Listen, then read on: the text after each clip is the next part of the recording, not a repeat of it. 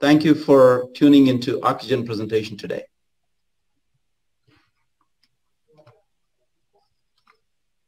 We are a biotechnology company developing transformative therapies for blindness diseases and a COVID vaccine to save lives, starting with our breakthrough modified gene therapy platform, which we believe is uh, not only a breakthrough, but also unique and a game changer in ophthalmology space. One product has potential to treat many inherited retinal diseases. Findings were published in the Nature. OCU400, the first product in the pipeline in the gene therapy based on the AAV NR2E3, has four orphan drug designations from the FDA. Once again, um, you know, we're planning to um, treat uh, retinitis pigmentosa, a broad disease, with this product.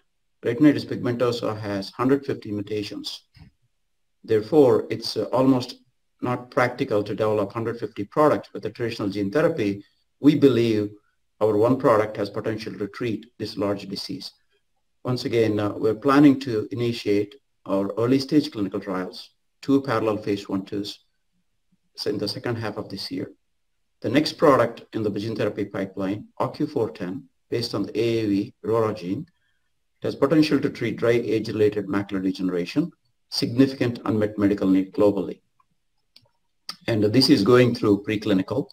We're planning to initiate phase one, two trials in next year. We also have a strong strategic manufacturing partnership with CanSino Bio. Uh, it's a large biotech company. And uh, because of the partnership on the manufacturing side, it's really paving the way uh, in a rapid, uh, very efficiently to move our program to the clinic this year. Now coming on to our OCU200, a novel biologic, which is targeted for major retinal diseases, um, where there is a significant underserved population because current therapies such as anti-VEGF therapies, there are many uh, patients who are non-responders, about 50%. So we're trying to target um, diabetic macular edema, diabetic retinopathy, and with macular degeneration using this product. Coming to our vaccine, Covaxin, which is uh, targeted for COVID-19. Um, it's a whole virus inactivated vaccine with an adjuvant. It's being co-developed with Bharat Biotech. Currently, Bharat Biotech has received EUA in India, um, emergency use authorization, and they have initiated mass immunizations using this product. The salient features include it's a standard storage condition for vaccines, which is 2 to 8 degrees and uh, easy for supply chain. And a promising safety and immunogenicity data has been generated through phase one and phase two clinical trials. Currently, the phase three clinical trials, the enrollment has been completed with uh, about 26,000 patients. And uh, the differentiation feature with this vaccine, since it's a whole virus vaccine, it's inactivated, it has got multiple protein antigens, uh, which could be beneficial um, not only for the broader population in lieu of any viral escape through mutations in the future. Now I'm going to go into more details a little later in the presentation. Now coming to our management team, we have a very experienced management team with a proven track record of success in developing, launching, and managing life cycle of many biopharmaceuticals successfully. Coming down to our scientific advisory boards, starting with Retina Scientific Advisory Board, highly credible group with significant expertise in gene therapy clinical development. Now coming to our Vaccine Scientific Advisory Board consists of uh, several top academic uh, professionals from UPenn and also industry experts from uh, X, Wyeth, and Pfizer vaccines. Now coming to um, our pipeline, starting with modified gene therapy platform, OCU400 again, as I mentioned before, we have four orphan drug designations targeting NR2E3, Rho mutation, CEP290, and PDE6B. And uh, if you consider the prevalence rates for these uh, altogether, it's about 20% of retinitis pigmentosa, which is about 100,000 patients in the US, 1.5 million patients globally struggling with many mutations. This is a debilitating disease. Many of these patients go legally blind um, by the time they're in mid-40s. And they're desperate and looking for therapies to rescue from the blindness. And this program is moving rapidly. It's progressing well. We're planning to initiate our phase one, two trials in the second half of this year. Coming to our second program in the gene therapy, OCU410, which is targeted for dry age-related macular degeneration. About 9 to 10 million patients struggle with this disease in the US alone. It's a significant unmet medical need. Globally, there are no therapeutics approved to treat uh, dry AMD. Again, uh, we're in the preclinical stage. We're planning to move this program to clinic next year. Coming down to our OCU200, which is a fusion protein, transferrin tumstatin, targeting DME, DR, and wet age-related macular degeneration, about uh, 9 to 10 million patients in the US alone. There is significant uh, underserved population, as I mentioned before, because there are a significant number of non-responders to current therapeutics in the marketplace. So therefore, we are going to initiate um, the clinical trial starting with the DME, diabetic macular edema, next year with this program. It's moving well through the preclinical stage right now. Coming down to our vaccine, as I mentioned before, it has received um, emergency use authorization in India, and uh, and also they started uh, mass immunizations using this product. Um, and the phase three is still ongoing. They have completed the enrollment. Currently, um, with our scientific advisory board and a significant number of advisors uh, who are helping Ocugen, we are putting the plans together uh, for the US EUA and, uh, uh, and also US commercialization. Now I'm going to go through each of the programs in more detail, starting with Covaxin. And Covaxin has a large database. They have evaluated uh, uh, this vaccine in about 1,000 subjects in phase one and phase two clinical trials. And the phase three clinical trial uh, enrollment has been completed about 26,000 patients. Again, um, the data is available online from the phase one and phase two. Very significant uh, um, um, immune responses to, again, a spike protein, receptor binding domain, as well as a nucleocapsid protein uh, with strong cellular responses, which is really necessary for um, long-term durability and memory. And uh, again, this vaccine can elicit response to multiple antigens. That's a differentiation factor compared to other vaccines uh, which focus on the spike protein. So if there's a significant change uh, with the viral escape and mutations in the future, since you have multiple antigen coverage, uh, this could be effective. And it's a purified vaccine based on the VeroCell platform. And again, uh, this, this platform has been tested very well. In fact, uh, they produce uh, polio vaccine for babies using similar technology and platform. So it's very safe for all um, age groups. Again, uh, we have established a very, very strong scientific advisory board consists of academic and industry experts who have significant vaccine expertise. And uh, currently, we're putting the clinical and regulatory path to bring this product to US so that, uh, you know, we'll be able to quickly deploy and save lives. Um, you know, we really want, we are committed to fight against COVID. And our goal is to, you know, extremely work hard this year and to bring this product much needed product on the US toolkit to the market. Now I'm going to um, go through our modified gene therapy program, starting with, uh, once again, uh, there is a traditional approach uh, on the left side of this slide and uh, our modified gene therapy demonstration on the right side. With the traditional gene therapy, um, you have one product in the marketplace in the eye space, um, um, Luxturna, it's targeted for RP65 single mutation. And so you have a defective gene. So you give a functioning gene through AAV vector. Once you start expressing, you control the disease progression. However, if you want to take that approach and develop a product for another mutation, and you have to start from scratch and do the preclinical studies, go through phase one, phase two, phase three, and uh, apply for BLA and get the approval, this whole process will take eight to 10 years. So if I have a disease such as retinitis pigmentosa, as I mentioned before, there are about 150 mutations that only represent 60% of the population. Remaining 40% is random. It's difficult to genotype. So if you take this traditional approach, one has to develop about at least 150 products, which is almost not practical. And as I mentioned before, many of these patients do become legally blind by the time they're in mid-40s. They're desperate and they're looking for therapies sooner than later.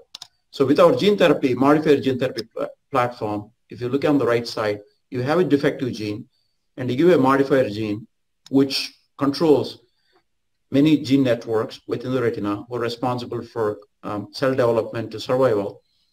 And uh, they upregulate many genes under those networks and bring homeostasis to the retina and restore normal cell function. Therefore, each of these products can be potentially used to treat many, many um, inherited retinal diseases with a single product. Once again, um, we do have four orphan drug designations, uh, as I've shown on the slide, NR2E3, rhodopsin, CEP290, PDE6B, and also the broad spectrum potential for RP treatment. And uh, this could be very beneficial for patients and uh, it'll be very cost efficient because one product can go after many diseases so you don't have to repeat you know a lot of the work and coming to this slide again on the right side um, um, I mentioned about you know the gene networks looking at uh, photoreceptor development inflammation phototransduction and uh, metabolism and cone cell development again these are the three genes um, which we identified NR2E3, NR1D1, and RORA. These are like master genes in the retina. They control these gene networks responsible from cell development to survival. And uh, again, uh, they regulate this modified gene therapy concept is not new and it's well known in other disease areas such as cystic fibrosis and uh, spinal muscular atrophy. However, Ocugen is the first company to bring this concept into ophthalmology space, which could be very beneficial for the patients. Uh, last year, uh, with our collaborator at Harvard Medical School, we published this, uh, um, uh, the data uh, demonstrating why uh, this gene therapy can be used for broad spectrum RP. Again, this publication goes into five different unique animal models um, in the advanced stage of this disease as well as the early stage of the disease and looking at multiple endpoints, including functional endpoint and safety, demonstrating the therapy is effective in significant rescue of blindness um, from early as well as the late stage of the disease, as well as it's safe. And in multiple animal models, which represent, you know, uh, multiple human uh, disease phenotypes. I'm going to walk through the high-level data from this publication. Now, coming to this slide, um, here, again, uh, we have early and advanced stage of the disease five different animal models, focus on the bottom of the slide, looking at the fundus imaging, untreated versus single treatment of AAV vector NR2E3 gene. And so if you look at that on the top of the fundus imaging, you see RD1, RHO, RD16, and RD7. Those are animal models. Above that, um, there is a human phenotype disease. Enhanced S-cones syndrome represents RD7. So untreated animals have significant spotting in the fundus. That means showing, demonstrating retina is significantly degenerating. And at the bottom, you say a significant clearance of the spotting, showing there's a significant rescue across the board in all five animal models consistently, showing the treatment single subretinal injection of gene therapy is very effective. On the top again, you're looking at on the left side early stage and on the right side advanced stage of the disease. In both the cases, um, you're looking at outer nuclear layers. In the untreated animals, on the right side in the advanced stage, you don't find any outer nuclear layers. And uh, in the treatment, you know, you have significant rescue. Similarly, in the early stage, very, very low levels of outer nuclear layers are present in the untreated. And the treated, treated animals, there's significant presence. Again, demonstrating the, from histology from outer nuclear layer and fundus imaging the therapy is effective across the board in multiple animal models representing multiple human diseases. Now coming to functional endpoint, which is uh, electroretinogram, looking into scotopic in the you know dim light like night conditions, and the photopic, which is a well-lit conditions. Again, looking at uh, four different animal models, RD1 to RD16, consistently showing the therapy has rescued you know, there's a significant rescue um, based on the ERG um, amplitude here. Now we have demonstrated in multiple animal models the therapy is effective. So one would ask, are there any off-target effects? To demonstrate that, we've taken healthy animals and uh, again treated them with an NR2E3 gene, which is OCU400, and looked at the fundus imaging. Histology on the left side, you'll see those retinal layers. Um, and then uh, looking at the opsin uh, immunochemistry models. And on the right side, which is a functional endpoint, ERG signals. And across the board, um, the data looks normal compared to uh, untreated animals. Again, demonstrating not only the therapy is effective across multiple animal models, which has potential to treat many, many retinal diseases with a single product, and the therapy is safe.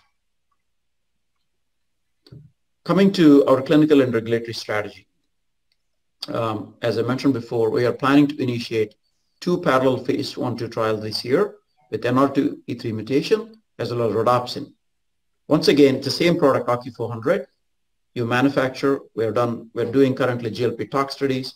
We're scaling up the manufacturing for GMP, uh, uh, GMP scale uh, at a commercial scale to take it to the clinic. And so once this is done, it's the same product, so we don't have to repeat.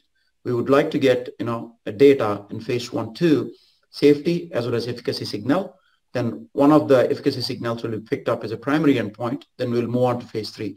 So we want to do phase three clinical studies in uh, multiple um, uh, disease um, populations. So once we have that uh, efficacy and safety, and we'd like to get a approval for the broad RP indication with potential some phase four commitments.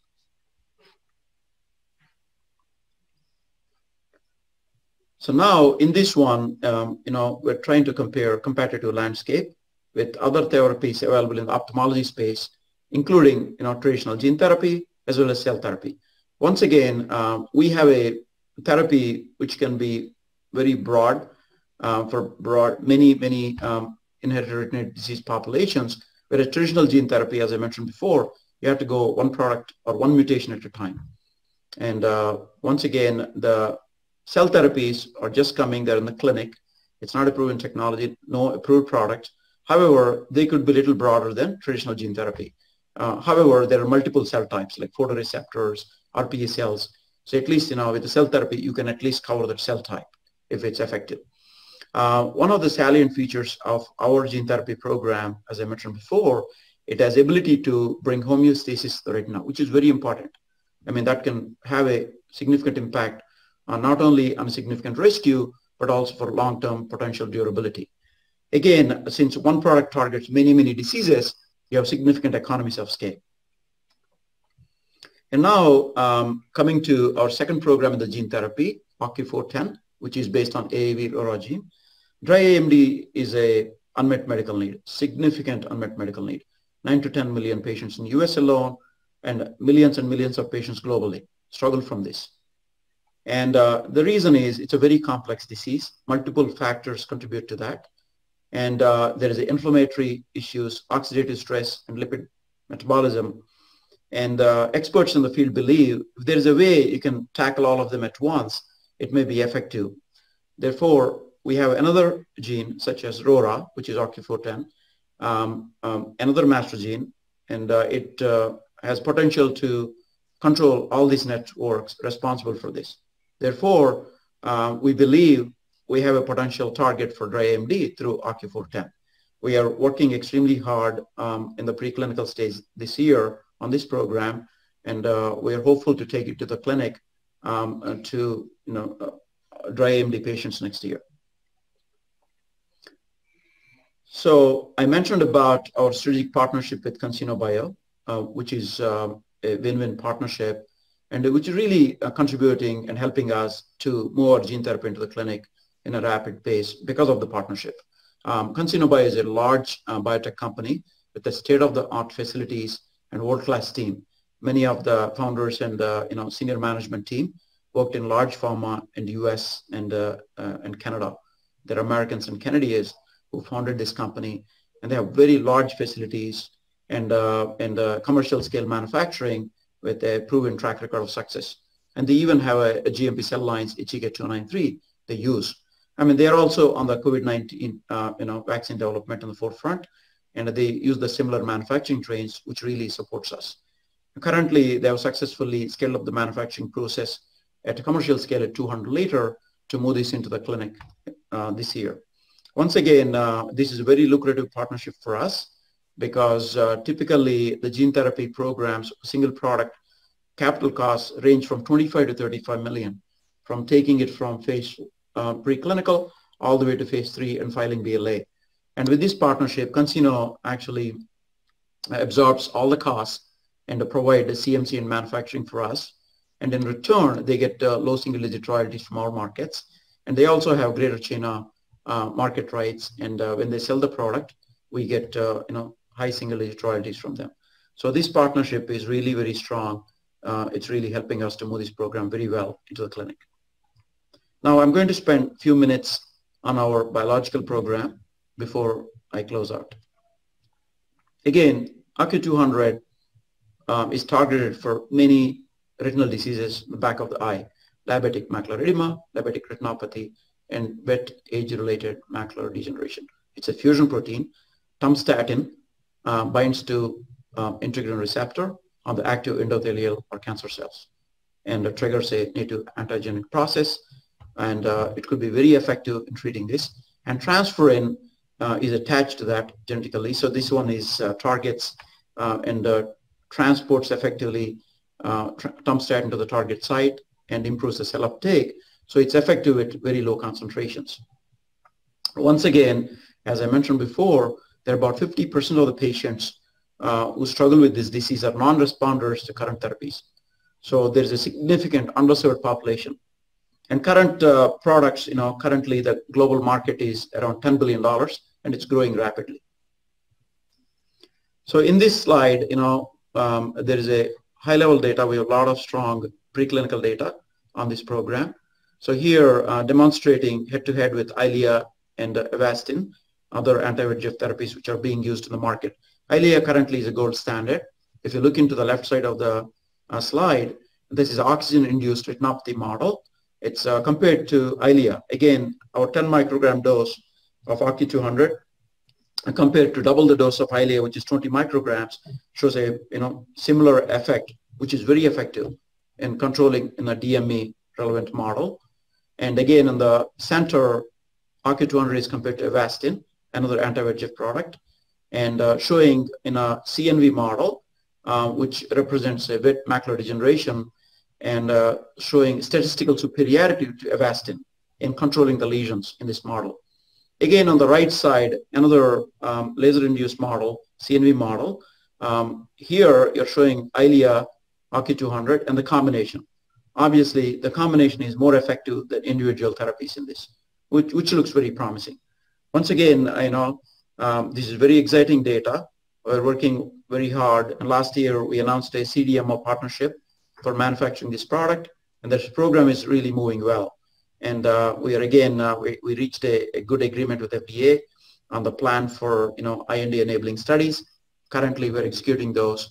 And we are hopeful to take this program uh, into the clinic and phase one to clinical trials first half of next year. So now coming down to um, the mechanism of action and uh, comparing to other therapies in the marketplace. As I mentioned before, uh, the current anti-VEGF therapies are good in controlling uh, VEGF level. Um, you know, when there's a leakage, immediately control and, uh, and then make it dry and it controls the disease. Um, however, um, our product also targets only active endothelial cells, activates anti-angiogenic process. That means it has potential to control um, any additional formation of those blood vessels, which are unwanted. And uh, also with the transferrin, it has ability to enhance uh, you know, cell uptake and, and, and uh, be effective at very low concentration, as I showed it before, at 10 microgram dose. And uh, it also has uh, multiple features, so pro-apoptotic, antioxidant, which could be really beneficial because of the integrin targeting and also being a fusion protein macromolecule, we believe uh, the durability could last longer because it's very important. You know, these patients get multiple injections in the eye, intravitreal space. Not only you want it to be effective, if you can reduce the number of injections per year uh, to four or less, it could be very effective for this population. Once again, you know, there are other anti-integrin programs uh, which are with the smaller molecules, not macromolecules like we have. They have proven this therapy is effective in DME patients. Now, in a nutshell, coming to close out, um, uh, we have, as I mentioned, working extremely hard with Covaxin this year. Our goal is to use, utilize all the data we generated in India, in a large population, you know, about 30,000 patients, phase one, phase two, phase three. And also they have started massive immunization and develop a regulatory path by working with FDA and bring this product to US market and launch it and to save many lives in the US. In addition to that, OCU 400, as I mentioned, will be in the clinic this year and we'll start getting some safety and efficacy signals next year.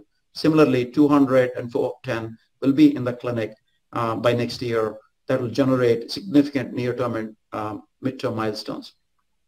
So closing out, as a company, you know, we're very excited about modifier gene therapy platform um, with a one product has ability to treat many, many inherited retinal diseases.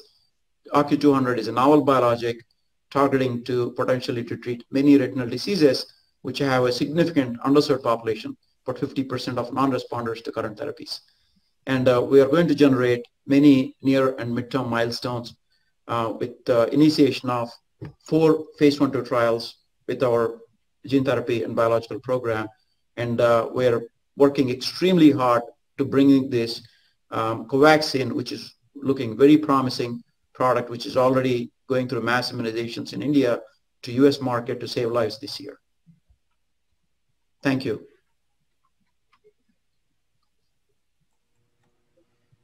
Shankar, thank you so much for your presentation. It's a pleasure having you here.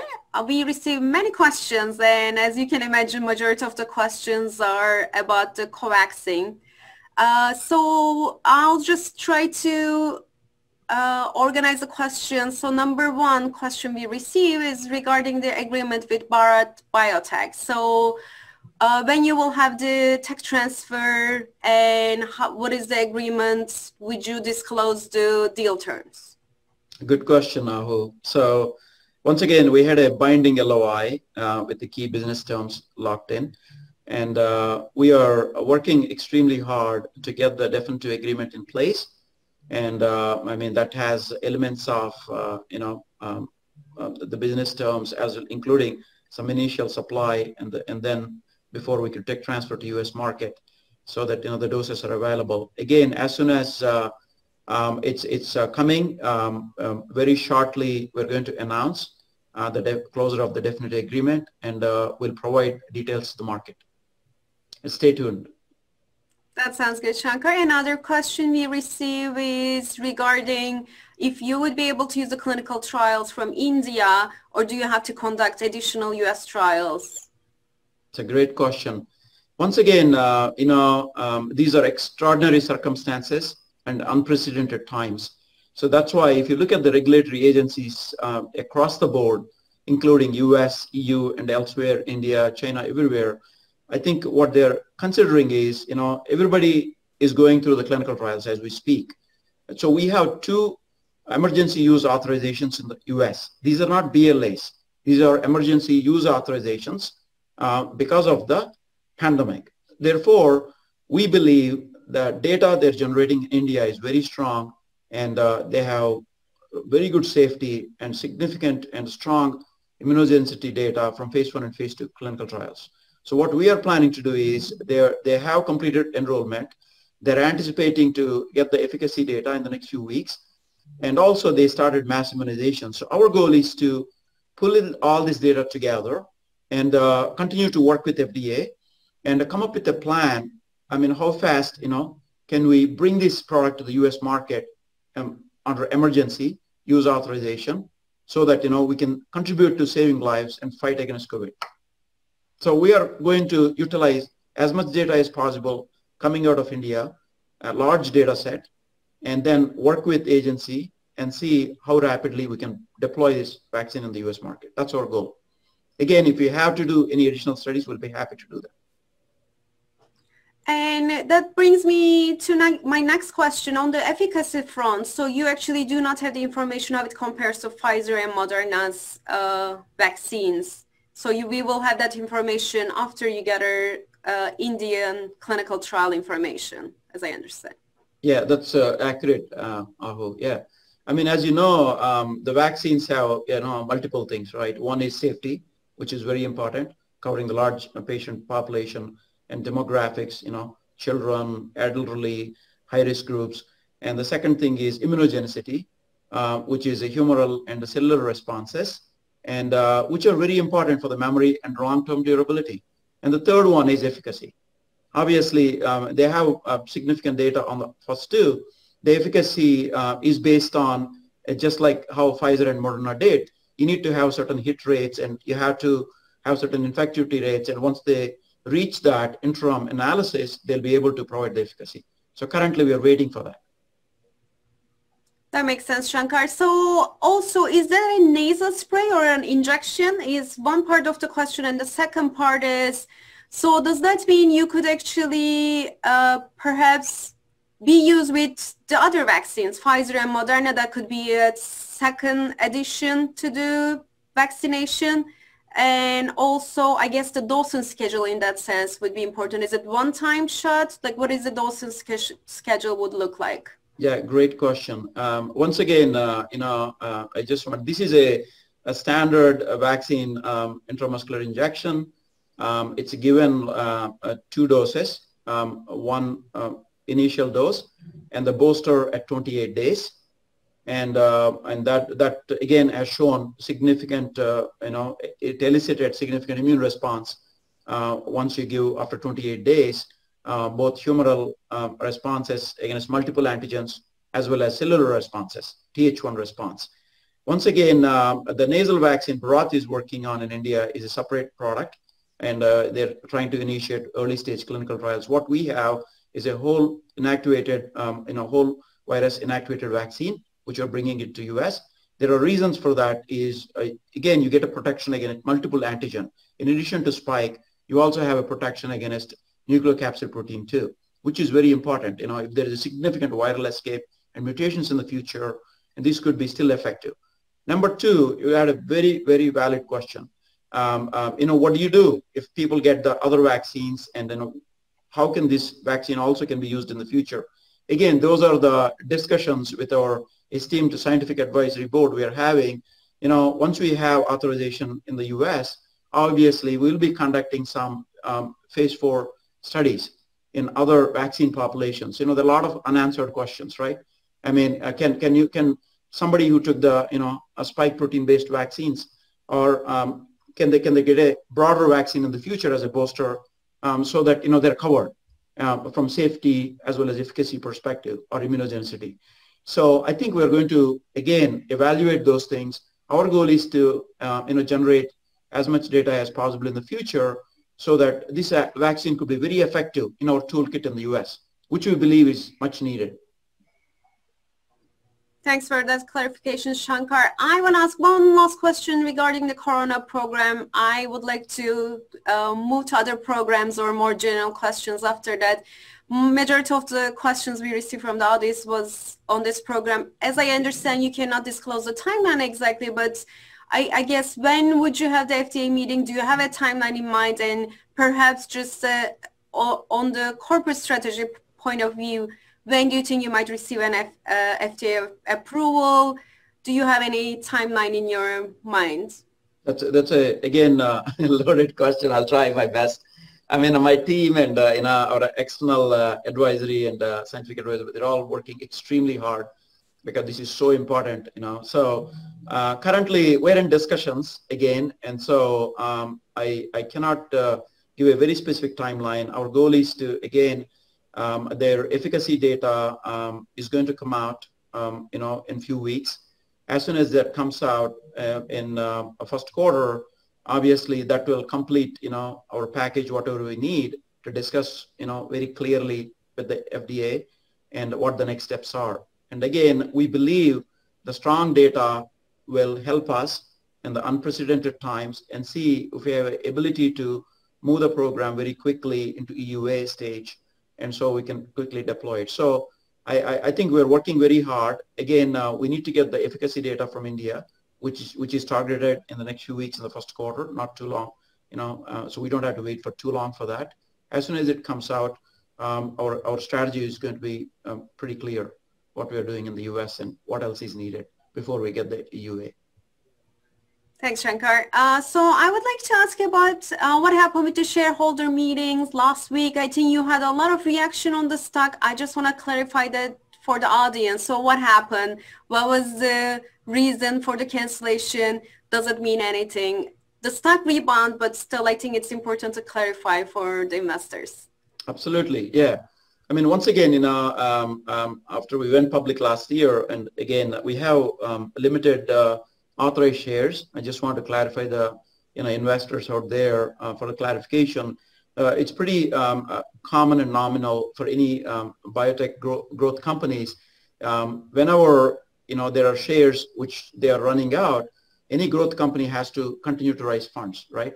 I mean, to move their programs, and that's where you're creating a value for the shareholders while you're taking care of the patients.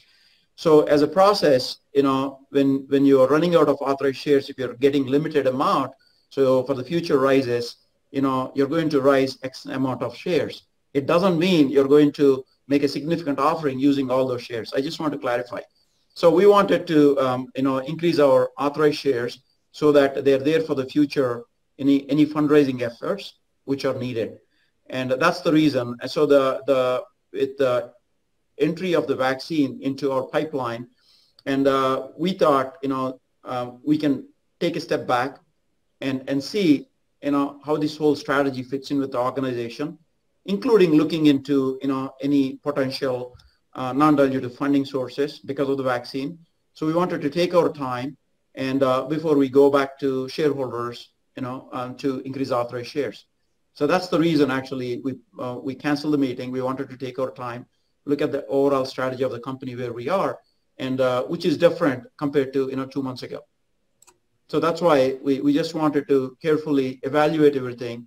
And again, I wanted to um, you know give this message to the shareholders and investors out there. When the companies increase number of authorized shares, it doesn't mean they come up with a major offering to use all the shares.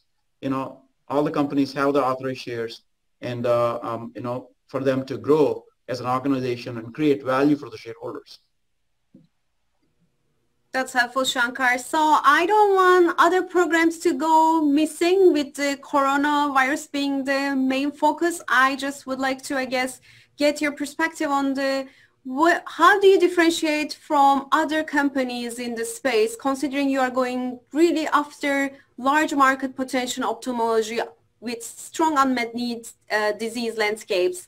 And second part of my question would be, how do you think you're valued compared to the uh, competitors in the field? Okay, yeah, sure. Uh, I'll, I'll, answer that. The first question, I mean, that's a very valid question. Um, the Covaxin um, is, a, is, a, is a major program. And, and so, however, as I mentioned before, um, what we did, there is no impact to our gene therapy program um, which are very, very close to our heart. And you know, we really want to take these programs for the benefit of the patients. As I mentioned, there are so many desperate patients um, who are struggling with all these uh, back of the eye retinal diseases. Many of them are, you know, orphan. Currently, there are no approved therapies. So we are working extremely hard. There's no uh, change on the focus on those. As I mentioned before, our manufacturing came out really good uh, from CanSino Bio. We, we, we are working on finishing up the preclinical GLP tox studies that are needed for the IND for OCU400. So that's on track. There is no change to that. What we have done is, uh, so that will be in the clinic as I planned, you know, as we planned in the second half of this year.